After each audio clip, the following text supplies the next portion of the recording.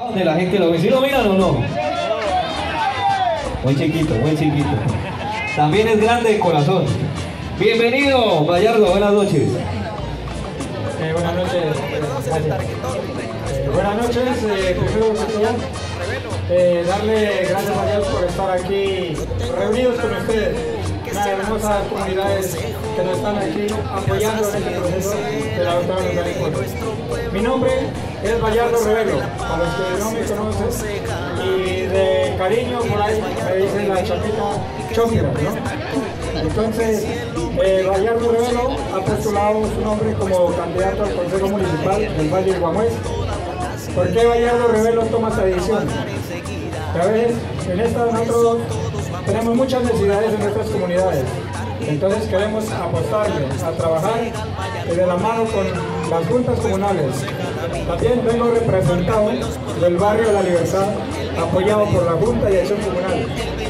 Y queremos decirles a toda la comunidad que vamos a trabajar con la mano de nuestra próxima alcaldesa, doctora Lugari Pozos, vamos a trabajar en los proyectos sociales que ella ejecute en su plan de gobierno. Y nosotros como concejales vamos a hacer cumplir lo que ella ha prometido.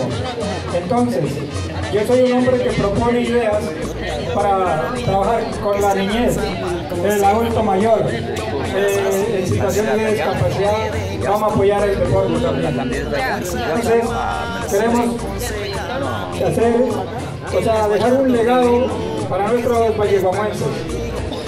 Valle de Guamués me ha dado todo. Entonces, ¿cómo no trabajar por mis comunidades? Recuerden que estoy avalado por la Fuerza de la Paz y en mi tarjetón es el número 2. Y quiero que me apoyen con ese voto de confianza.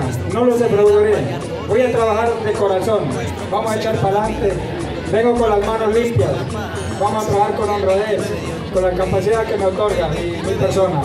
Entonces, les pido ese botico de confianza para ustedes. No los voy a defraudar. Recuerden que les habla Gallardo Revelo, su concejal amigo. Muchas gracias para todos. Gallardo, muchas gracias por su intervención.